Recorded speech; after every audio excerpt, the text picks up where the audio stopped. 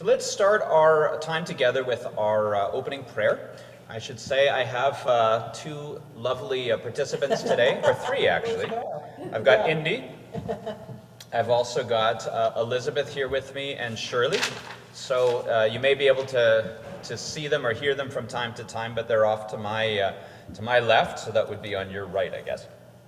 So let's start with our opening prayer, which is the prayer for the fourth Sunday of Lent. That's the Sunday coming up. Gracious Father, his blessed Son, Jesus Christ, came from heaven to be the true bread which gives life to the world. Evermore give us this bread that he may live in us, and we in him, who lives and reigns with you in the Holy Spirit, one God, now and forever. Amen. So let's take a look at our first lesson. So who would like to read for us? That's 2 Corinthians 5, starting at verse 16. I will. Okay, John? Yeah.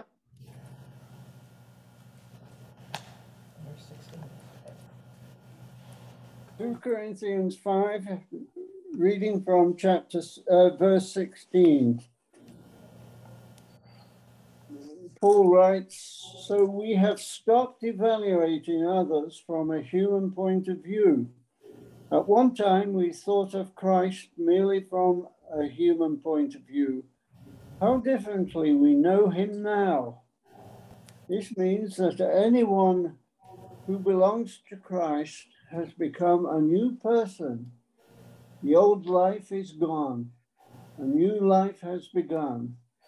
And all of this is a gift from God who brought us back to himself through Christ. And God has given us this task of reconciling people to him. For God was in Christ, reconciling the world to himself no longer counting people's sins against them.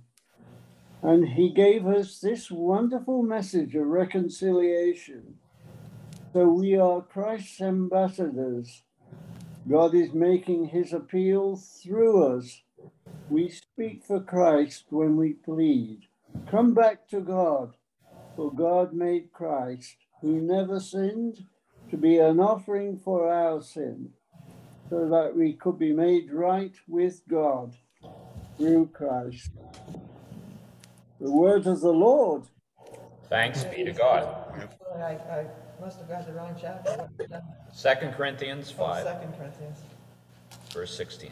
I'd like to ask John what um, translation he's using. What I have, but it is- Uh, it's the New Living Translation, which uh, Different translation. uh, was adopted by Gideons actually.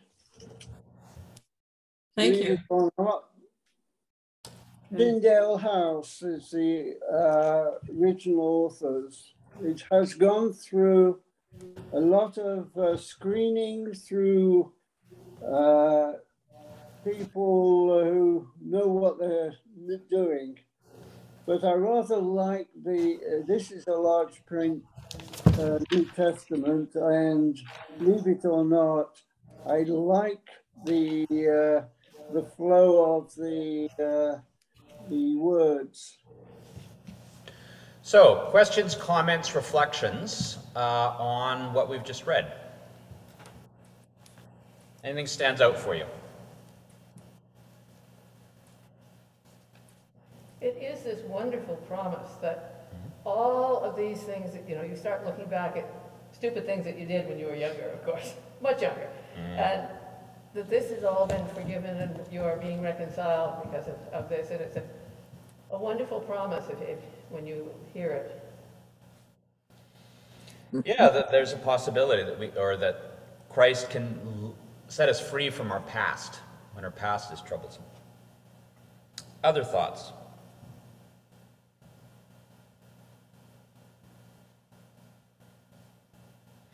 I I like verse 17. And uh, followed by verse uh, oh I've lost it. Oh, followed by 15.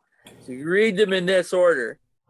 When anyone is united to Christ, there is a new world. The old order has gone, and the new order has already begun.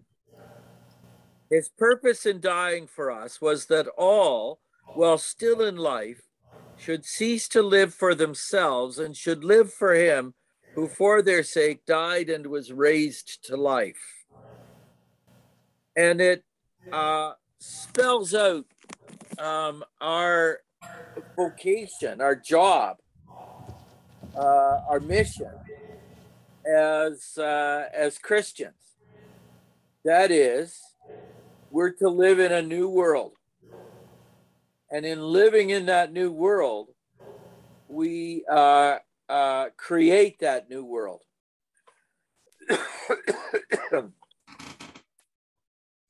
Ed, you had a, uh, a hand up.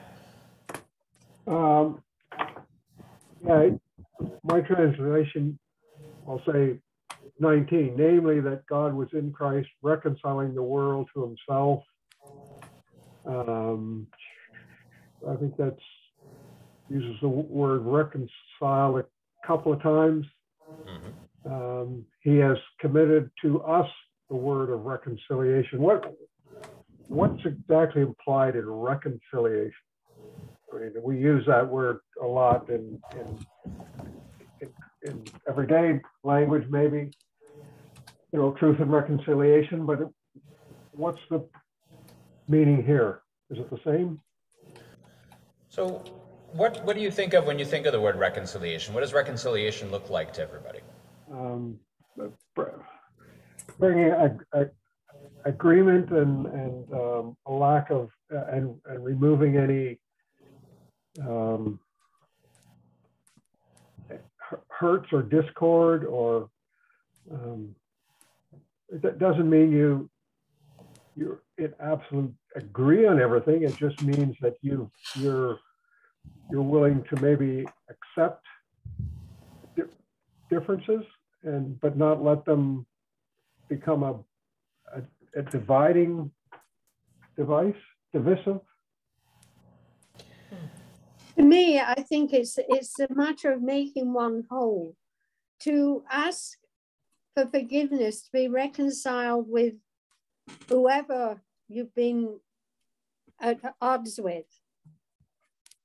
And this is why God is uh, saying to us that we are reconciled with Him, that we can say we are forgiven. We got come before Him continually through our lives here on earth and asking for things we have done wrong, and He reckon we can come to Him and be reconciled and forgiven.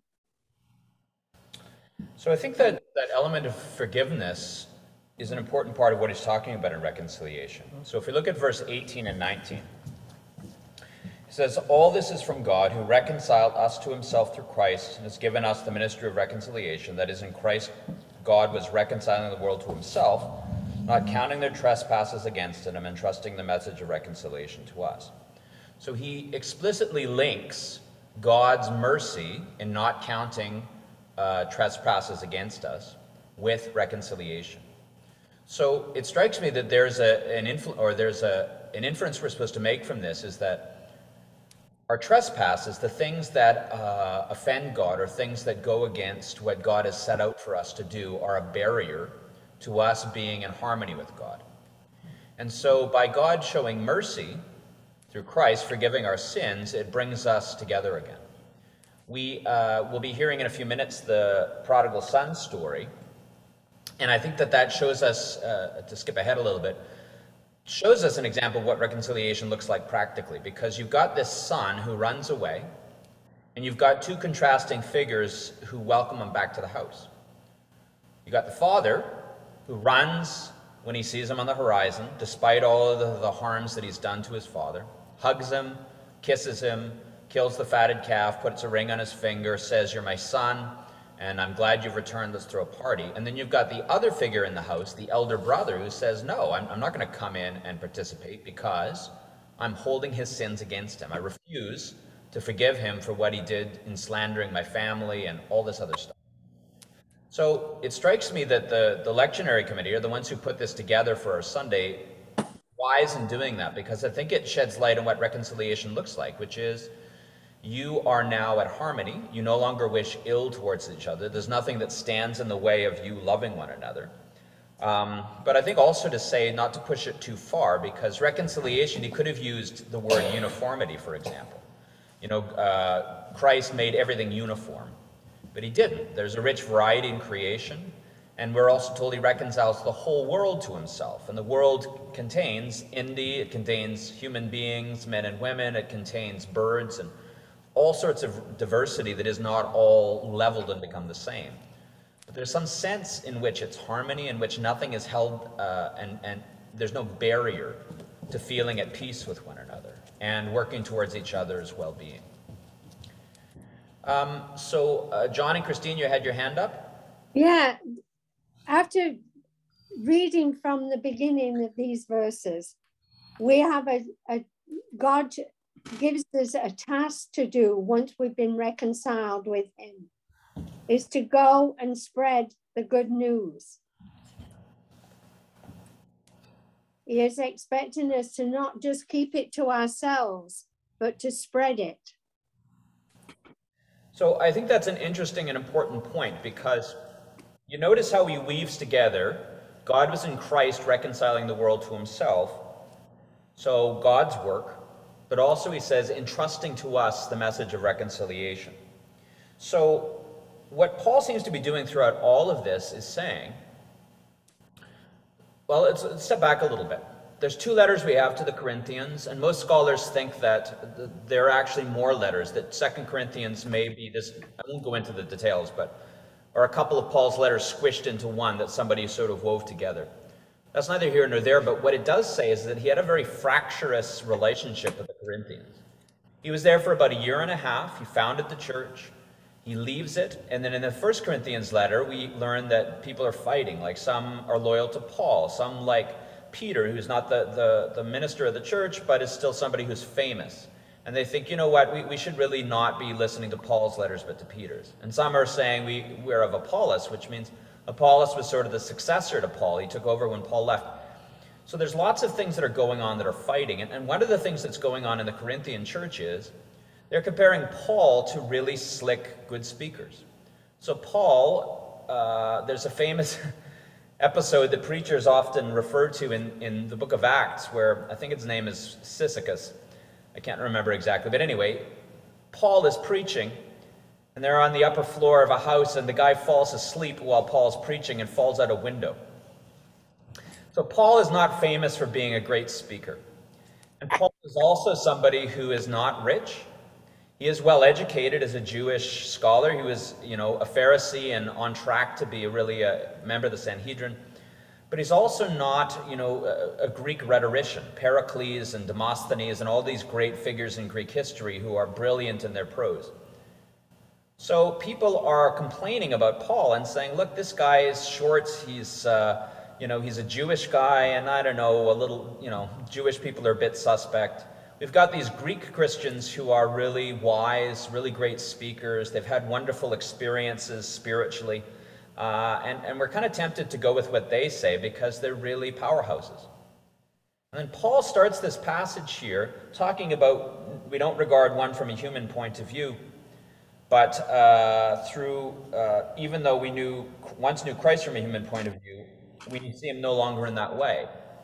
In other words, He's not looking at Jesus and saying, ugh, he's this carpenter peasant from Nazareth, uh, you know, no formal education, got killed by the Romans. That just kind of sounds like a loser. Why would you want to follow him? And Paul is saying, no, in fact, why you think I'm a loser is because I'm following Jesus, who, in the world's eyes, the fleshly point of view, failed. But look at him, exactly, amen, Andy says. And then uh, beyond that, uh, we follow Jesus because we recognize in him is God's power to bring about reconciliation. So Paul is saying, look, if you're mocking me, really what you're mocking is Jesus, because Jesus is the person who sets down the pattern, who with humility serves other people, who doesn't mind uh, suffering consequences and hurts, doesn't care about worldly glory, but instead focuses himself on reconciling with people, even to the extent of going to the cross. Paul is saying, if God is in Christ reconciled the world to himself, well, God's also in me, and I'm trying to reconcile myself to you. to remind you that we are a unity as a congregation, we're unified in the Lordship of Jesus, and we're not to keep fighting with each other about who's the best. So that points us to where we're reading this and saying, yeah, wonderful that Christ is reconciling us to God and forgiving our sins. The implication then is, isn't that what we're supposed to do with one another? If God in Christ does not uh, hold our sins against us and instead reconcile himself and, and is willing to be humiliated on the cross, should you not put up with a few insults, a few inconveniences, just for the sake of getting along and loving one another? And that's what my task is, and that's why I'm willing to be putting, putting up with so many indignities. So I think this is really important that we don't sort of say just how wonderful Jesus is and what he's done, but we also say how great a task God has given us to continue the ministry of Jesus in our daily lives. And that means sometimes we're not going to look great in the world's eyes. But that's not important. What's important is do we look like Jesus? And that I think is what Paul seems to be focusing on. So, any thoughts on that or comments on, on the passage here?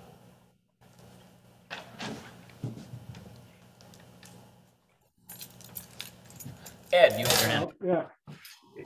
Well, just on that point about you're saying we, we may have to accept some criticisms or about ourselves, but it, I, the other aspect of, is that we maybe have to stop judging where other people are, which is what, you know, you, you talked about that on Sunday.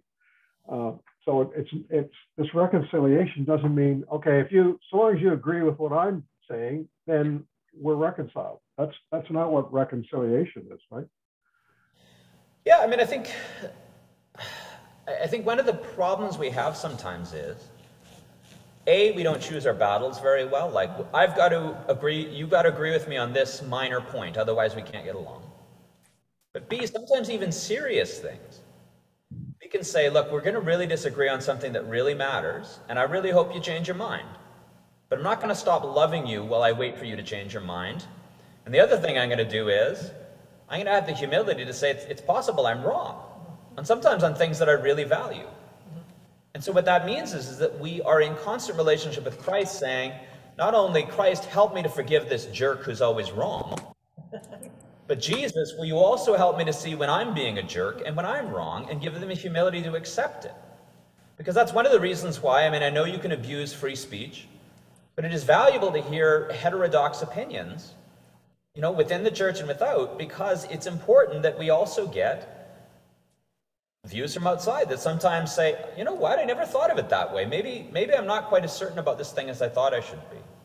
So I think it's really important that we, we recognize that sometimes that means, A, we have to eat crow when we're wrong, but B, sometimes it means, you know what, I'm not going to let our disagreement stop me from loving you. And we know that in our, or hopefully we know that in our most intimate relationships, because we'll have, if you've ever had a fight with your spouse, or real disagreement with your child, or your mom, or whatever it is, what is it that a family does? Well, you know what? We really disagree on this, so let's not argue about it. Let's have dinner together and talk about something more pleasant for now. In most cases, you can probably do that. Um, some cases I know not, but we often tend to think, oh, this is a giant case that I can't let go, when in fact it probably isn't in most cases. Any other thoughts on the passage here?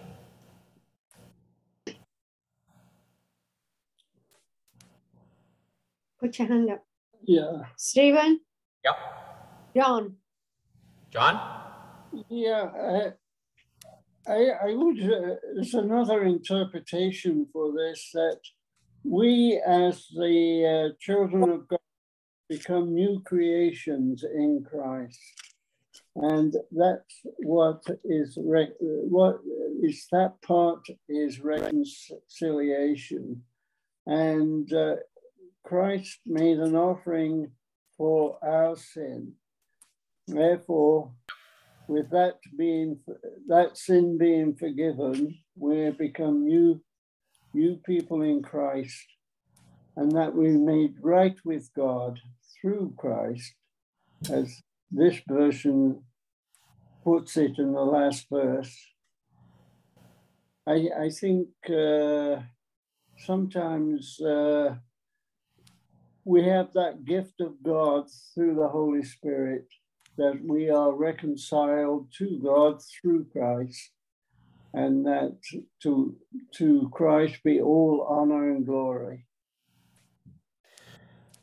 I want to pick up on that new creation idea as well, because one of the things that is really, I think, a helpful pattern to get into is when you see something like a word like creation, we tend to think, okay, this is my creation. I don't know what to think of. Maybe you think of Dr. Frankenstein and his new creation or, or whatever.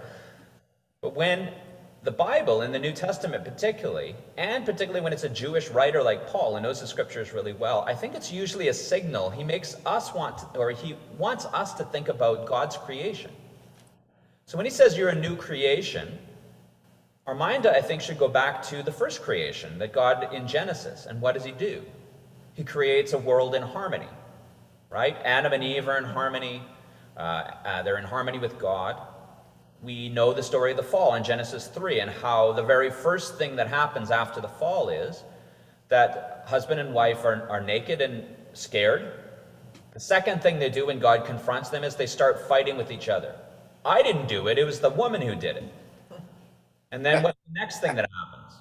Cain kills Abel. So it goes from small fight to their sons kill each other. All these nasty things show the outflow of a unreconciled world. So when we look at creation, I think that Paul is pointing us back and saying, new creation. Well, Christ, in fact, is making all things new. He's making the world new. So when Jesus talks about his kingdom, his kingdom is drawn near, we are to start acting and living according to the new creation, the new reset. I've spoken a few times about Paul's idea of Jesus being the second Adam and how in the temptation in the wilderness, Jesus does and triumphs where Adam failed. He sees the food as delightful and good for food, but still says no because God said no. Unlike Adam and Eve, who said, oh, well, it's delightful, so I'm going to take it. So I think going back to this, it makes us think if we want a picture of what reconciliation looks like, I think Paul is encouraging us to look to the original creation and then to ask ourselves the important question of A, how do we live in that way of creation in our fallen world? And B, how do we help others to live in that? So do you create a household in which you model for your children what reconciliation looks like? Do you have a workplace where you model with your workers, your group of friends? And I think primarily where he's speaking to the church, do you create a church that models this, where different people are reconciled because their primary desire is that other people be lifted up and drawn close to Christ. And that's more important than winning an argument and that people are wise and discerning about when something is true where you have to stick to your guns and when it's not. So those are the sorts of things I think he's pointing to. And so that new creation idea, I think, is something worth thinking about. So whenever you, again, hear something like creation uh, or Messiah or, or, or other things that are sort of key words, think back to the Old Testament about where those terms and those ideas show up. And Paul and Jesus, of course, himself, use this on a very regular basis throughout their ministry. Other thoughts before we go on to Luke's gospel and the prodigal son story? Um, I look at um, the fact that uh, reconciliation, you know, also involves uh, restoration. Mm-hmm. And that when we, we are reconciled with God, we go back to the old harmony that maybe we had with Him before things, uh, mm-hmm. you know, went awry. It is an interesting thing that I know we have contemporary letters and witnesses from the early years of the church where pagans believed that Christians were committing incest. And why they believed that was is because Christians, from the very beginning, we called each other brothers and sisters. And pagans couldn't get and understand that because why would a slave say to a rich uh, landowning master, you're my brother. And more is like, okay, you wish, slave, you're a worm. You can't say that. But why would a landowner say that to a slave? Like, you're 15 uh, levels below me in terms of social status. They thought, well, it must, it must be some weird sex thing or something. But no, what it is is to say this is a family whether you're slave, male, female, Greek, Jew, etc., etc., that there's some new creation. God creates a new family uh, as a result of what he's done. And, and of course, Paul also makes hay with the promise God made to Abraham, you know. uh, you know, I will make you the, the father of many nations, and, and, you know, look at your stars, that's the number of descendants. Paul argues that we're spiritually the heirs of that promise to Abraham. We're members of Abraham's family by virtue of God's grace, not through DNA and literal descent from Abraham. Anyway, that, that family motif is really important for us to hold on to because, of course, if you know your family, everybody's got a crazy uncle that you can't stand very well, but you still invite him to Christmas dinner, right? The idea is, yeah, he's a little bit weird, but he's family, right? So you stick around. Sometimes a stern word needs to be given, but they don't stop being family. Blood's thicker than water, right? But of course, uh, in Christ, water's thicker than blood. The waters of baptism uh, go deeper even than the ties of blood kinship. Let's move on to Luke's Gospel. We're in Luke chapter 15. So, although the lectionary has us using the first few verses of Luke 15, that just sets things up. So, I'm going to suggest we do Luke chapter 15 and begin at verse 11. Uh, just to understand it's Jesus speaking parables here. So, Luke chapter 15, starting at verse 11. And if somebody could read that, that would be great. I'll read it. Thank you, Margaret. Then Jesus said, There was a man who had two sons. The younger of them said to his father, Father, give me the share of the property that will belong to me. So he divided his property between them. A few days later, the younger son gathered all he had and traveled to a distant country, and there he squandered his property in dissolute living. When he had spent everything, a severe famine took place throughout the country, and he began to be in need. So he went and hired himself out to one of the citizens of that country, who sent him to his fields to feed the pigs. He would gladly have filled himself with the pods that the pigs were eating, and no one gave him anything. But when he came to himself, he said, How many of my father's hired hands have bread enough and to spare? But here I am dying of hunger. I will get up and go to my father, and I will say to him, Father, I have sinned against heaven and before you. I am no longer worthy to be called your son. Treat me like one of your hired hands. So he set off and went to his father. But while he was still far off, his father saw him and was filled with compassion. He ran and put his arms around him and kissed him. Then the son said to him, Father, I have sinned against heaven and before you. I'm no longer worthy to be called your son. But the father said to his slaves, Quickly bring out a robe, the best one, and put it on him. Put a ring on his finger and sandals on his feet. And get the fatted calf and kill it, and let us eat and celebrate. For this son of mine was dead and is alive again. He was lost and is found. And they began to celebrate. Now his elder son was in the field. And when he came and approached the house, he heard music and dancing. He called one of the slaves and asked what was going on. He replied, Your brother has come, and your father has killed the fatted calf because he got him back safe and sound. Then he became angry and refused to go in. His father came out and began to plead with him. But he answered his father, Listen, for all these years, I've been working like a slave for you and I have never disobeyed your command, yet you have never given me even a young goat so that I might celebrate with my friends. But when this son of yours came back, who has devoured your property with prostitutes, you killed the fatted calf for him. Then the father said to him, Son, you are always with me, and all that is mine is yours.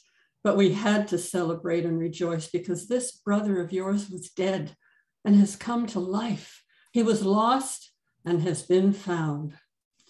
The word of the Lord. Thanks. And- Thanks be to God. Well, that is a very powerful Margaret, and something that I know we've heard many times, but I think every time it really wa- makes clear why it's such a popular story is because it's really powerful. So, thoughts, comments, questions on this? Anything that maybe jumped out at you that's new, even if you've heard this story many times? Well, I just mention Elizabeth, go ahead. that over there is this, Yep. this picture, and it's. I'll show it to you. We, uh, we did a study a few years back, the Henri uh, Yep, this book. this book, and I think that's why the picture is there now. So if you can see, you may not be able to see it, but it's a, it's a famous painting by Rembrandt that's in the Hermitage in Russia, which I guess is hard to see nowadays because of the war. But uh, she, uh, Elizabeth mentioned that that uh, a print of that painting is available or is uh, up on her wall. So that's on the right-hand side when you're facing the altar near the sacristy door. And what she was pointing out was a, a book called The Prodigal Son by Henri Nouwen, who was was he Dutch? I think he was Dutch. Yes, he was Dutch. He was a Dutch monk, but he eventually moved to Canada, uh, lived with uh, L'Arche community, which is a community that uh, cares for uh, developmentally challenged people.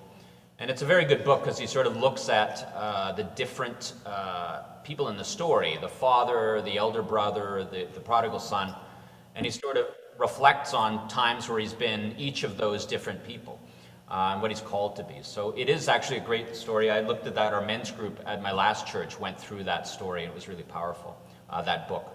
So I've got Ed with his hand up, and then uh, anybody else after that. Uh, um, an interesting uh, way to study this, these verses is to say, who do you relate to most? The, the Yep. father, the prodigal son, or the other son, or maybe the, the slave. And uh, somebody said, oh, I relate to a fatted calf.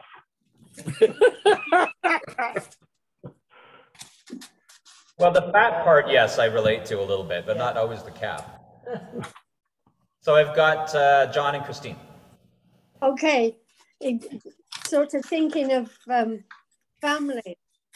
And I, I suppose really we all see this happen in families when somebody dies and leaves a will and somebody doesn't get what they expected to get, it's been given to somebody else.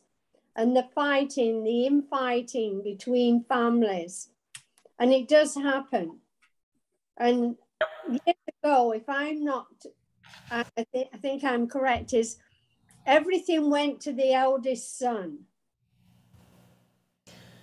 The Most- eldest So what, what you would usually get is the older son would get a double portion. So if you uh, remember the Elijah and Elisha story, uh, Elisha is the protege for Elijah. And when he asks for a double portion of Elijah's spirit, it means that he wants the elder's share. So if you had five sons, you divide your property into six parts. The oldest son would get two of those parts, and the other ones would each get one, would typically be it. So he definitely is cutting into the elder brother's inheritance by taking uh, a bunch of his dad's money. Uh, because then the elder brother is going to think, oh, well, now he's back and you're spending all this money on him. There's going to be less for me when dad's dead. So that's probably part of it. And yeah, will you know fights over the family estate are nasty. Uh, really difficult to see when you see it. It's better that you don't have anything to leave and then they don't have anything to fight Well, over. That could be true too, but um, I will say that I, I know well thought out inheritances can be a tremendous gift to children and grandchildren in tough parts of their life. And my grandparents, uh, when they passed away, left something, well, because they lived in Vancouver and property prices skyrocketed in the house that they were living in. When it was eventually sold, they were able to give a little bit to all the grandkids. I wouldn't have been able to put a down payment on my house were it not for them doing that. So that was a tremendous help to me. So um, don't spend all of your children's and grandchildren's inheritance. Try to keep a bit for them. Well, Elizabeth? I was just, just remembering when my mother's aunt Yep. died, and she had, I mean, she managed to get to medical school and become a psychiatrist and teach, despite being female, and that was way back when. So when she died, she left her money to her nieces. None of her nephews were to get any. My my mother and her sisters and one brother, they just split the money Yep. among them so that their brother got the same share, That's too bad. which, uh, you know, I thought was. Well, that is a recipe for family strife, I'm afraid. Yeah. But I always thought that was, you know, it really, to me, said something about what mo- sort of person my mother was, that, Yeah. that they all did that. No, it's tremendously true. Uh, I think to, to think about how, you know, store up your treasures in heaven, you know, where moth and rust do not destroy. And that's more important even than the, the financial things that we want to get. So John and Christine, you had another point and then Nash after. I, I think the whole story is as- to tell us whatever we have done, whatever we have committed in this life, we have somebody we can go to and get our slate erased, literally erased through the love of Christ, giving his son for us, and that we are forgiven. And this we have to remember this is what this, the, the story is about, about forgiving and not harboring the to, to just wipe the slate clean. There was a program, there was a TV program some years ago, and it was a, I think it was a minister, a, family anyway. And one of the series, he, he went to heaven and he was showed how an eraser in the hand can wipe away all his sins. And I remember that. And this is what God does for us. We confess, He forgives, and we can be with Him. Yeah, I took away what, what stands in the way between the brother and the father. Nash. A couple of points. Uh, the uh, son asking for his inheritance, you know, uh, really showed that he didn't care about the father because usually you won't get the inheritance until the person is dead. So he really wished his father was dead, taking his, uh, you know, money and, and uh, going away. And the second point is the uh, son getting the job looking after the uh, pigs. First and foremost, he's Jewish. and Jews, Jews usually don't go around pigs. So for him, not just you know working with the pigs, but trying to eat their food on top of it shows how he's hit rock bottom. Yep. You know, so the kind of you know situation we are in, you know, that God will call us from. You know, we really have to hit rock bottom. I also wonder how sincere that younger son was because he had rehearsed all of his speech to his father and um, had it all ready. And so I wonder about his heart, truly. Um, you know, was he planning this, uh, knowing knowing his father would forgive him?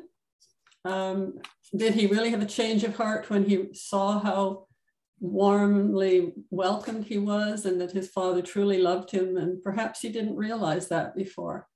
I wonder what happened before this story in the family. What were the relationships like? And why did he feel this way to demand his, um, his inheritance before his father died in such a, a harsh way? So it makes me wonder about the dynamics. I wonder a little bit about that too, because we tend not to focus much on the elder brother here, but it does reveal something about his mindset, which is his father says, Look, everything I have is yours. You could have had a goat anytime you wanted. What stopped him was he never asked. He thought his my, my father doesn't love me very much. He's not going to give me any of this, so I'm not going to bother asking. Maybe the younger son thought the same thing and said, My dad's never going to give me anything of his free will, so I'm going to demand my rights, which is divide the will, give me the portion, and then we're free of each other and we can leave. And he misjudges his father. It's interesting that some of the, the harsher parables Jesus tells, like the parable of the talents, you may remember he gives away to three different slaves uh, different amounts of money. One, uh, you know, five talents, one two, one uh, one, and he goes on a journey. The five guy uh, invests and gets a big windfall. The two talent person gets a big windfall. The one talent one just buries it.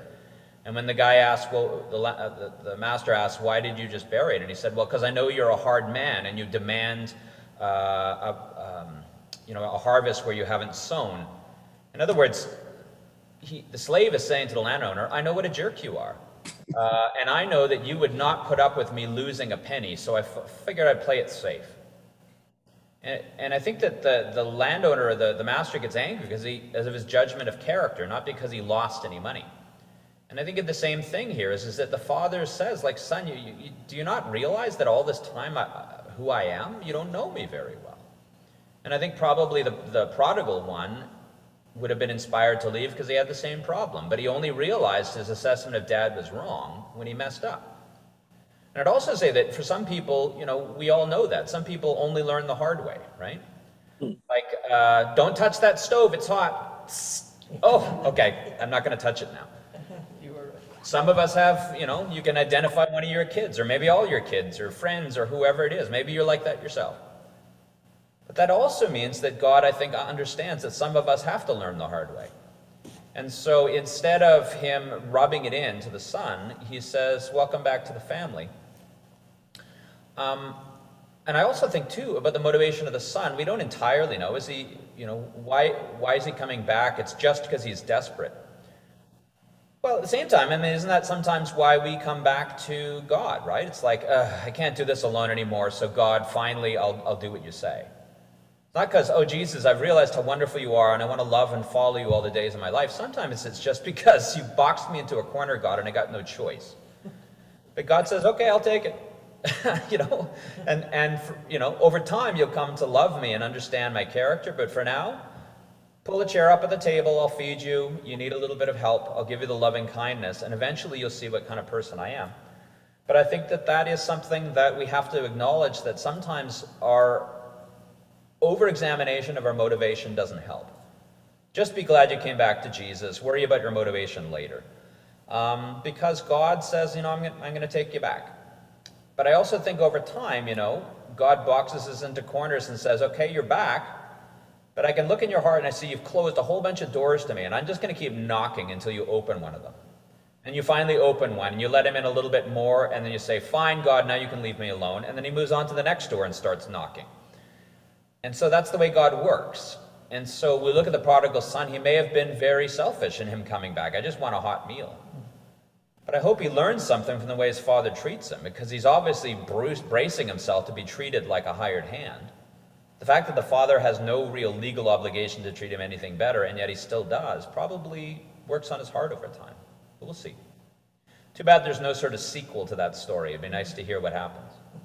so I've got uh, Christine and John, and then I've got Nash. Okay, it, it brought, as you were speaking, it brought to me as our lives now today. We carry on every day in our own sweet way, and we wonder why we're having a difficult time until we realize that we are doing it on our own and we're not accepting God's help in what we're doing. And we have to say, Forgive me and come and help me. Well, there is a humility, right? Which is the son, I'm sure why he's bracing himself is, you know, he hoisted himself on his own petard. I can do better than you, Dad. I've got a better way of planning my own life. And then everything goes and collapses. Like, there's got to be, like, regardless of his motivation, he's really got to swallow his pride to go back. Don't we have to do that with God plenty of times? You know, I, I had a con- conscience twinge, but I did it anyway because I wanted to have my own way. And then we have to come crawling back to God and say, you know what, you were right. This was a big mistake. That requires swallowing our pride. But at the same time, we come expecting God will be like the elder brother who says, okay, snivel and be a worm in my household for a while. And instead, God treats us like, I'm just glad you're back. And that's a different thing, and something I think is really important for us to hold on to when we find it hard to swallow our pride. Nash and then Bill. Yeah, I, I had, uh, when I was in uh, high school, and a Jesuit uh, monk came to our school to preach on this very um, you know, gospel reading. And the first thing he said was, Jesus has told a bad story. And that alarmed all of us he being a Jesuit. And uh, his explanation was that if any kid reads this story, he will think, oh, I can go and uh, screw up and I can come back home and I just have to say, Dad, I'm sorry, and I'll be taken in. Right. So that encourages people to, you know, go and do bad things, actually. well, I think that, you know, it's interesting because that is a good point. But I also think sometimes we try to put more weight on a parable than we should. In other words, I think just because he tells this one parable doesn't mean that is all there is to know about reconciliation. So anybody who's been in a relationship with, you know, an addict or a person who's got really, you know, inappropriate behavior, I think a lot of times you come in and again, like kill the fatted calf, you have a party, but we don't hear the rest of the story, which may be, okay, son, here's the rules of the household that I want you to follow. And that just like it is with a toddler, right? It's like I start giving you more responsibility as you grow older and become more mature because it is irresponsible for me to say, okay, you know, here's the crayons, uh, I trust you with it, because you come back and you'll write over the wall again. With an addict, same thing. It's like, oh, I'm glad you're back. Now here's a whole bunch of money. Now, now I, I trust that you're not going to use alcohol again. Well, that's that's not a wise policy. I do think that the forgiveness and welcoming into the family is really the important point. I don't think it necessarily tells us how everything should work. Like, I find the same thing when it comes to the parable of the vineyard or the, the yeah the vineyard where people come at the last hour and get paid the same as those who came at the first hour. Like that's not how you run a business in this world. So I don't think this is Jesus' school of business advice. I think instead it's Jesus' school of how the kingdom of heaven works, which is, you know, fairness takes a second seat. And it drives us nuts if we think we're the elder brother who's been good. Fairness takes a second seat to God's mercy. And the story of the 99 sheep who do what they're supposed to do by on the hill, and then we get the one sheep who's a dummy and goes off and wanders. What happens? Well, the shepherd goes and brings it back. Shh. Shush. Anyway, all that is to say is, is that don't read too much into this. Yes, there should be boundaries in many and sometimes uh, just a blanket forgiveness actually harms a person more than helps them. Bill. Oh, I was just going to make a couple of observations. Um, I I've always, well, for recent years anyway, been intrigued by the notion that this parable has been given in popular parlance the wrong name that the parable should be known as the parable of the loving father. Sure. Or the parable of the two screw up brothers. because each of them, no, no, no, I, I, that sounds funny to say it that way, but each of those two younger guys in their own way have uh, become estranged from their father and and and screwed up that relationship yep. the loving father, etc. The second thing is, um, and I'm not even sure if, if it's even important, but did anyone ever notice the relationship between the word prodigal, P R O D I G A L, and the word prodigy? Yeah. hmm. Same root words. Um, and uh, whereas a prodigal is is this guy from the story, a prodigy um, in my grandson's music relationships. When I go to the concert, there's some kids that are just brilliant in their ability to play their chosen instrument. Those are the prodigies. And yet this other one is a prodigal. And I and I there's a meditation that can be developed, I think, the fine line between the brilliance of the younger son, uh, the prodigy part of him, and the screw upness of him, the prodigalness of him. And the third thing is to go back to draw the relationship between this story and where Paul begins, or uh, where uh, where Paul is writing about the new world, the new creation, the new relationships, the new way of being.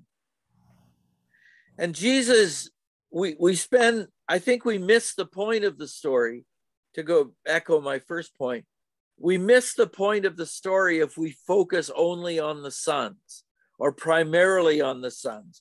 We need to see the father as the uh, for lack of a better word, um, enfleshment, not incarnation, but you know, making real of the new world uh, into which Jesus uh, Jesus calls us.